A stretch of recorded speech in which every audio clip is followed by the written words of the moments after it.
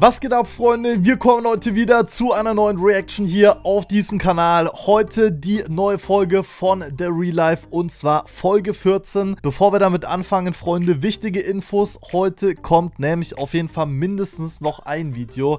Also mehr als zwei will ich eigentlich auch wirklich nicht bringen. Das Ding ist, es gibt irgendwie so viele Themen und Formate, dass ich gefühlt irgendwie fünf Videos pro Tag hochladen müsste. Aber ich glaube, das wäre ein bisschen too much. Deswegen versuche ich immer, dass ich es irgendwie aufteilen kann und äh, ja, nicht mehr als zwei Videos kommen. Auf jeden Fall heute wird noch oder kam schon, ich glaube wahrscheinlich sogar eher kam schon, ein Video zu dem neuen Format und zwar Match Swipe Love. Nee, Swipe Match Love. Ich glaube, so rum heißt das. Ich bin mir gerade nicht mehr sicher. Auf jeden Fall, das Format startet ja jetzt und dazu kommt natürlich auch eine Reaction. Also dürfte eigentlich dann schon online sein, wie gesagt. Und ansonsten starten wir rein hier in die neue Folge von The Real Life. Die ganze Folge gibt es natürlich wie immer bei RTL Plus. Link dazu ist unten in der Videobeschreibung. Viel Spaß mit dem Video. Folgt mir bei Instagram. Namen seht ihr eingeblendet. Und damit, let's go. Oh, jetzt exklusive Einblicke bei Melody. Kommt rein, kommt rein. Hallo. Schön. Guten Tag. Ich treffe mich heute mit Vanessa. Ähm, wir haben ja schon lange vorgeschlagen, die Babyparty für Alessia zu planen. Das machen wir jetzt auch. Ich habe schon ein bisschen im Internet geguckt, was man auf Babypartys eigentlich so macht. Also Ja, ich wollte das gerade sagen. Also ich wüsste jetzt nicht, wie ich sowas angehen sollte.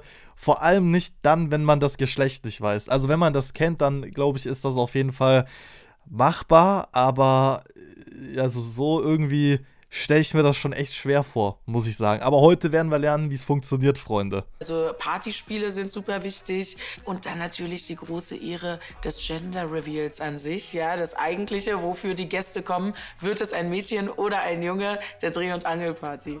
Wir waren noch nie hier. Zeig uns mal dein Reich. Äh, ja, hallo, guckt euch nicht so genau um, ne? Ja, also das ist jetzt meine Wohnung. Ich habe die aber von einer Freundin äh, gemietet. Viele private Dinge stehen jetzt hier aber nicht rum, oder? Nee, ich bin gar kein Mensch, der großartig was besitzt, außer halt Klamotten und Schminke. Das ist so meins, ein paar Schuhe noch, aber sonst habe ich nicht so viel. Ich reise ja immer ganz Einfach diese Vitrine oder dieser Schrank, der da stand, sah auch einfach leer aus. viel durch die Welt. Also für mich ist es tatsächlich praktischer, nichts zu haben. Aber es gab auch mal eine Geschichte in meinem Leben. Jetzt kann ich über sie lachen. Früher war sie ganz Also furchtbar für mich, hier, ja, wo alle meine Sachen, die ich jemals besessen habe, von der Person weggeworfen wurden. Also ich war damals ja in psychologischer Behandlung und da habe ich jemanden kennengelernt und äh, die war halt auch depressiv und wir sind dann zusammengezogen. Es ist vielleicht nicht immer die beste Idee, mit, auch mit Leuten, die auch psychische Probleme haben, dann zusammenzuziehen. Also es hat dann nicht so gut funktioniert. Ich kam eines Tages nach Hause und die Schlösser waren ausgetauscht und dann kam ich nicht mehr an meine Sachen. Boah, okay, das ist schon krass. Stellt euch das mal vor, ihr kommt nach Hause und ihr kommt einfach nicht mehr rein und ihr kommt nicht mehr an eure Sachen, ey. Okay, das ist schon heftig. Aber als ob sie die nicht mehr, nicht mehr wiederbekommen hat, irgendwie. So, also keine Ahnung, ja. Eigentlich gibt es ja sowas wie Polizei. Ich weiß zwar nicht, ob die was machen oder nicht, aber äh, ja, eigentlich sollte man es erwarten können. Ich bin auf den ersten Blick jemand ganz anderes als auf den zweiten Blick. Und da spielt auch mit rein, dass die Leute, glaube ich, denken, ich wäre gut drauf und hätte immer Bock auf Party. Aber in mir sieht es schon Ja, das strahlt sie auch aus. Also alleine jetzt hier gerade in den letzten paar Sekunden, so würde man eigentlich genau das denken. Oder würde ich genau das ein denken. bisschen anders aus. Also mein Leben war absolut keine Party und ich war den größten Teil meines Lebens sehr schwer depressiv. Ja, ich habe mich durch sehr harte Zeiten gekämpft. Und ich glaube, das wissen die Leute nicht, weil das sieht man mir nicht an. Ja, da hat sie recht. Also ich habe schon den Vorspann gesehen, deswegen weiß ich schon, dass da noch ein bisschen mehr dazu, glaube ich, kommen wird. Ähm, aber ja, würde man natürlich nicht denken, ne? Also ich hätte es nicht gedacht, ja. Aber ich glaube, das ist ja bei den meisten Leuten auch an sich schon irgendwie so, ne, dass mehr dahinter steckt, als man auf den ersten Blick sieht. Man gibt ja auch nicht alles von sich preis und gerade solche Dinge geben ja die wenigsten von sich preis, ne? Muss man auch sagen. Hast du denn danach dir überlegt, okay, jetzt habe ich keinen Stuff mehr von mir, jetzt ist alles weg, scheiß drauf. Ja, es war damals ganz praktisch, weil ich war dann obdachlos. Deswegen war eigentlich ganz gut, dass ich nicht so viel hatte. Ey, man muss die Story ist halt bis dahin schon übelst traurig eigentlich, aber ab da wird sie einfach doch mal zehnmal so traurig. das alles mit Humor sehen, sonst würde man das doch nicht überleben. Aber dann irgendwann L.A. und ja, ist ja jetzt noch nicht lange hier im Köln. ich habe ja auch irrational viel Geld die letzten Jahre ausgegeben, als ich in Los Angeles gewohnt habe. Ja, das ist alles sehr teuer. Das ist auch ein großer Grund, warum ich zurück bin. Da will ich gar nicht lügen. Aber es war okay für mich, weil das war mein Traum und um mein neu erlangtes mentales Wohlergehen zu festigen, war ich da halt einfach zwei Jahre lang. Und ja, dann habe ich halt mein ganzes Erspartes ausgegeben, aber mir geht's jetzt gut und das ist mir alles wert. Ja, das ist ja das Wichtigste, dass man es nicht bereut. Ich war in der Psychiatrie, ähm, dort wurde mir geholfen, da habe ich professionelle Hilfe bekommen. Es hat mir auch wahnsinnig weitergeholfen, weil ich auch erst mal gezwungen war, aufzustehen und einen Alltag zu erleben. Also ich musste die Basics wieder lernen. Ich konnte nicht duschen. Ich konnte nicht Zähne putzen gehen. Ich hatte keinen Antrieb, irgendwas zu tun. Meine Haare sind verfilzt. Ich habe nur vor mich hin vegetiert. Ganz lange, Entschuldigung. Oh ja, das ist schon krass. Also ich finde das krass, dass sie da so drüber redet, ne? Also gerade bei solchen Dingen, wie ich ja vorhin schon meinte, die wenigsten Leute würden sowas überhaupt erzählen und den meisten Leuten, also natürlich ist es auch irgendwo unangenehm, aber umso krasser ist ja, wenn man das trotzdem raushaut. Und man muss wirklich sagen, bei The Real Life, egal ob das jetzt Natalie war, ob das Vanessa war, ob das Melody war, Diogo war, ich glaube, der einzige, nee, okay, ja, bei Alessia auch so ein bisschen, ne? Aber ich glaube, eigentlich gibt es fast keinen, Calvin bin ich mir jetzt nicht ganz sicher, aber wir haben überall so hinter die Fassade blicken können, wenn man das so sagen kann. Wisst ihr, was ich meine? Also überall wurden auch schon krassere, deepere Themen angesprochen. Und ähm, ja, das ist auch echt gut so, ne? Also ich denke, das wird wahrscheinlich auch Leuten, die das anschauen, halt auch weiterhelfen. Und deswegen ist es natürlich umso besser, wenn es Leute gibt, die über sowas reden. Ich habe so viele Sachen in meinem Leben verpasst, weil ich jahrelang zu Hause saß und in die Luft geguckt habe. Ich habe dreimal die 10. Klasse gemacht, weil ich nicht zur Schule gegangen bin. Nicht, weil ich dumm bin. Bin ich dumm. Ich konnte nicht aufstehen. Sehr lange. Heftig. Irgendwie ist es schon schön, mal wieder Leute hier zu haben. Schön, dass ihr da seid. Aber umso besser ist ja auch, wenn man da wieder rausgekommen ist, ne? Und das scheint es ja auf jeden Fall zu sein. Hast du sonst keinen Besuch hier? Nee, ich bin sowieso ganz komisch mit meiner Wohnung. Also dadurch, dass ich so dran gewöhnt war, jahrelang zu Hause, als ich dann zu Hause hatte, äh, zu sitzen. Und da sah es teilweise auch echt schlimm aus. War das immer so mein depressives Reich, deswegen äh, lasse ich eigentlich keinen rein, aber ich mache für euch eine Ausnahme. Wenn ich so mein 14-jähriges Ich heute treffen könnte, die sehr depressiv war und die gar nicht leben wollte. Damals dachte ich, ich habe keinen Platz auf dieser Welt und ich gehöre hier überhaupt nicht mehr hin. Und heute weiß ich, dass ich hierhin gehöre und dass es alles richtig so ist, wie es ist. Ich bin ganz, ganz froh, hier zu sein. Krass. Ey, wie alt bin ich denn jetzt? Ich bin jetzt 28. Oh, in zehn Jahren bin ich 38. Die Zeit vergeht so schnell. Ja, also da will ich auf jeden Fall schon ein bis zwei Kinder haben. Ähm, aber bis dahin mache ich noch fleißig Reality-TV. Baue im Hintergrund so ein bisschen so Business-Zweige für mich auf, weil es ist immer wichtig, was Festes so zu haben, was man auch weitermachen könnte mit Kindern und dann nur von zu Hause aus steuern könnte vielleicht. Also das wäre so mein Traum, ja. So, es kann losgehen. Ich treffe mich jetzt mit Vanessa. Also ich muss wirklich sagen, auch da wieder, ich finde es krass, dass die Leute so, auch Calvin, äh, Diogo auch, so oft damit umgehen, dass das gezeigt wird von außen, wo die wohnen. Weil es gibt ja immer irgendwelche Leute, die das erkennen können oder äh, da schon mal vorbeigekommen sind oder keine Ahnung, jeden Tag vorbeilaufen zum Bäcker so, natürlich nicht wissen, wer da wohnt und das dann wissen so. Ich finde das immer krass. Also, keine Ahnung, ich, ich, ich weiß nicht, bei sowas bin ich irgendwie voll vorsichtig. Aber ja, muss ja jeder selbst wissen. Shoppen für die Babyparty von Alessia. Müssen ja auch noch ein bisschen besprechen, erstmal was planen. Aber ich freue mich richtig drauf. Let's go. Ey, Kevin ruft an. Hallo? Ey, ähm, ich habe jetzt so einen Weihnachtssong auf jeden Fall klar gemacht. Aha. Wir haben Beat, viel Text und auf jeden Fall Ah, was ein Zufall, dass Calvin genau in dem Moment anruft.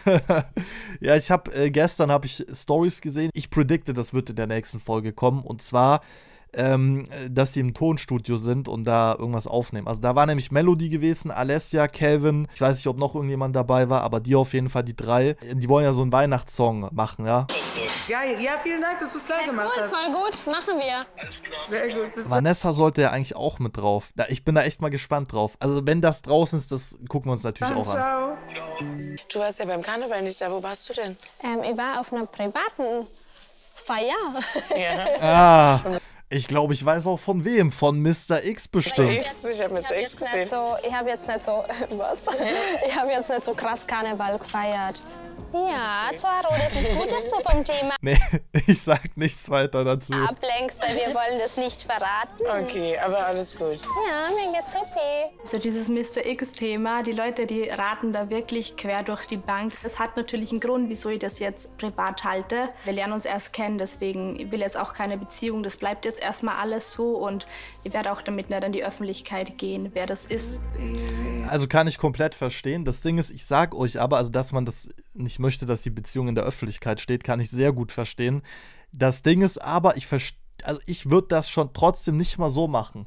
Weil das Ding ist nämlich, die Leute werden dich, wenn das jetzt so eine Kennenlernphase kann ja auch mal schnell platzen, so, ne? Und wenn dann die Leute dich die ganze Zeit, auch selbst wenn es nur mit Mr. X ist, voll nerven, so, weiß ich nicht, stelle ich mir auch schlimm vor. Also, ich glaube, also eine Beziehung würde ich noch eher in die Öffentlichkeit stellen, glaube ich, als eine Kennenlernphase. Weil ich finde, sowas, sowas darf man immer gar nicht zu viel Gewichtung geben. Aber vielleicht ist das, äh, liegt das auch nur an meinen Erfahrungen, ich weiß nicht. Ich war da auf der Karnevalsfeier mit Cosimo. Und wie war's? Äh, ja, ganz gut. Cosimo ist auf mich zugekommen auch tatsächlich. Äh, das weiß ich jetzt auch gerade im Nachhinein noch mal mehr zu schätzen, weil er ist ja sehr, sehr stolz. Und ich glaube nach wie vor noch, wir haben über zwei ganz verschiedene Sachen geredet und keiner weiß, was der andere meint. Und jetzt ist alles gut. Ja, nein. Ganz ehrlich, ich bin auch immer voll der Fan davon, dass man sie verträgt. Die hasst es voll Streit. Ja, das so. ist auch nicht. Okay. Ach so, ja. Aber wie ist es denn jetzt mit Jo und Jogo? Ich, sag- er musste nämlich auch noch was sagen. Ich habe dieses, mit dieses Mädchen, Julia. Ey, sie habe ich kennengelernt auf dieser Karnevalsfeier. Oh, oh, oh, jetzt wird hier richtig losgelästert gleich. Haltet euch fest. Nein, glaube ich war nicht. eigentlich ziemlich nett zu mir, muss ich dir mal ehrlich sagen. Ja, das ist ja völlig okay. Wenn ich jetzt mit Cosimo cool bin, kannst du Joko doch mal könnt ihr euch die. Hand reichen? Niemals. Bist du doof? Niemals. Nein. Gruppen schneiden? Nein. Wieso sollte ich, ich vertrag mich nie wieder mit denen? Der kann auf den Füßen ankreichen und kann mir keine Ahnung was. Das wird nie. Jetzt müssten sie wieder Diogo irgendwie mit einbauen und ihn dann noch mal so auf unangenehm irgendwie sowas fragen wie, ja, wenn die Vanessa jetzt wieder bei dir ankommen würde, wie, wie würdest du dann reagieren? So, das wäre jetzt geil. Aber wird wahrscheinlich leider nicht passieren. Auf jeden Fall, wir halten fest, Vanessa ist da nicht so offen dafür. Mr. X vielleicht auch nicht. Nein, Spaß. Wieder gut. Nein, okay. Ich würde sagen, wir waren erfolgreich. Also wir haben einen Plan auf jeden Fall, ne? Ja, wir wollen so eine Ballonwand mit so einem Bogen oder so vielleicht. Für die Influencer, damit die auch was zu Ja, fotografieren am besten, haben. wo innen steht so Boy Ganz wichtig.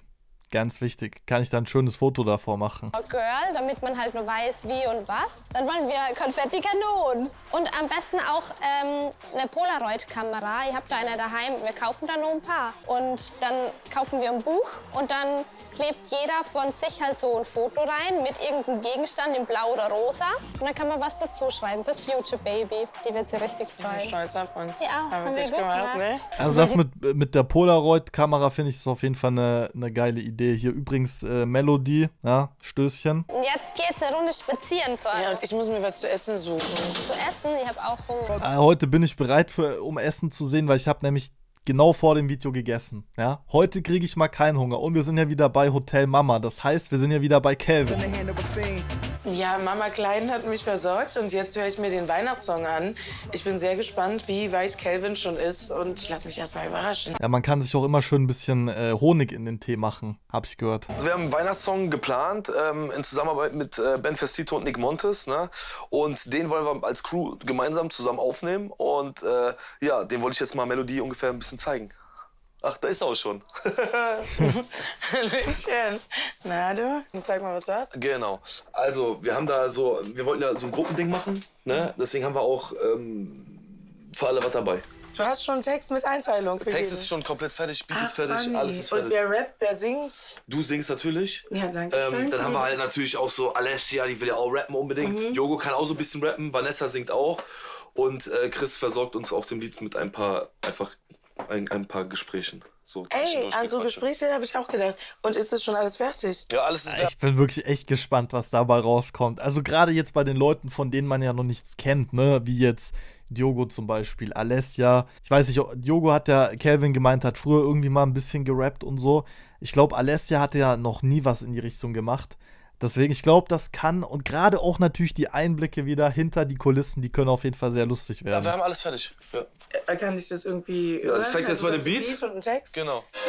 Frohe Weihnacht, das Fest der Liebe gemeinsam.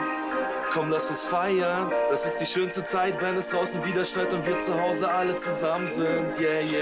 Frohe Weihnacht, diese Liebe gemeinsam. Komm, lass uns feiern. Das ist die schönste Zeit, wenn es draußen wieder schneit und wir zu Hause alle zusammen sind. Yeah, yeah, yeah. Ich bin aber Also sehr ich glaube, wenn das wirklich geil aufgenommen ist und so, kann das echt nice werden. überrascht, weil ich bin Calvin die letzten Wochen die ganze Zeit hinterhergerannt, habe gefragt, wann wollen wir denn was schreiben? Wann geht's mal los? Wie findest du diesen Beat? Und es kam nichts. Und jetzt ist fertig. Ich hab das Studio auch schon klar gemacht.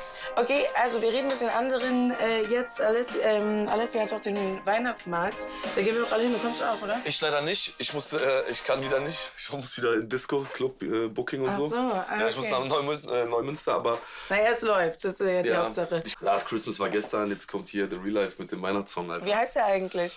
Das habe ich mich gerade auch gefragt. Äh, wahrscheinlich. Weiß ich nicht. Weiß ich, wie der heißen wird, keine Ahnung. Okay. Aber Last Christmas war auf jeden Fall gestern. Ähm, ihr zwei habt jetzt auch gerade noch ein neues Projekt, irgendwie habe ich mitbekommen. Ähm, was ist das denn, Kelvin? Genau, also wir haben, äh, also Melody mit, mit, äh, mit Xenia zusammen und ich mit meinem Bruder zusammen, jeweils als Team, haben wir an einem Dating-Contest teilgenommen.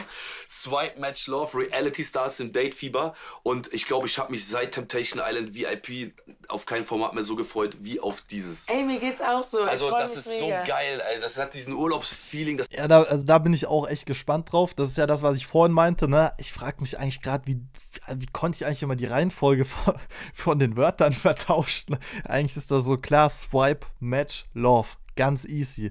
Auf jeden Fall, das kommt ja, glaube ich, heute Abend um 0 Uhr raus. Ich denke, ich nehme das dann, also das Video hier gerade nehme ich übrigens am Mittwoch auf, ne? Dass ihr hier mal Bescheid wisst. Ähm, das kommt am Donnerstag online und ich nehme am Donnerstag dann die Folge davon, also von Swipe Match Love auf und das wird dann beides kommen. Also, wie gesagt, ich glaube, als erstes kommt dann sogar das neue Format und der Real Life als zweites. Ich habe, by the way, gesehen, Are You the One startet auch im Dezember. Promi Big Brother weiß ich noch nicht, ob Videos jetzt dazu kommen. Also, ich warte immer noch darauf, ob das jetzt geht oder nicht geht. Mal gucken, ich hoffe auf jeden Fall, ich hoffe sehr, wirklich. Und was kommt noch? Äh, Germany Shore, genau, das startet, glaube ich, in einem Monat circa, irgendwie 15. Dezember oder so. Da äh, denke ich mal, schaut es eigentlich, glaube ich, ganz gut aus mit den Videos. Also hoffe ich, oh, dass das dann klappt, ja. Damit ihr so ein bisschen den Plan schon mal wisst für die Zukunft. Also es kommt ja generell eigentlich alles online. Und es laufen ja auch noch Formate, Bachelor in Paradise, der Real Life, äh, irgendwie, ich, also ich weiß gar nicht, bald, glaube ich, komme ich irgendwie nicht mehr hinterher. Das ist so, das ist, das ist für richtige Trash-Fans. Also Leute, die auf Trash abfahren, das ist genau das Richtige. Das, das wird richtig geil.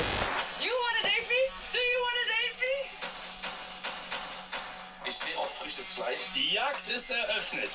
Gott, ey. Ey, das wird so asozial. Alter. Das wird so asozial.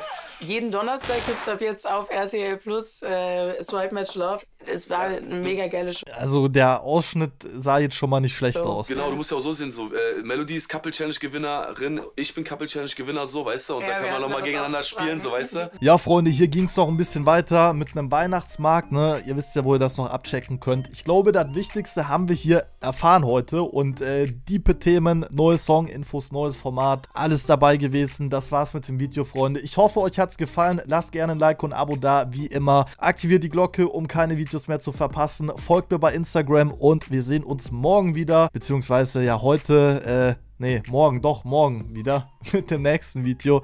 Bis dahin, Freunde. Ciao.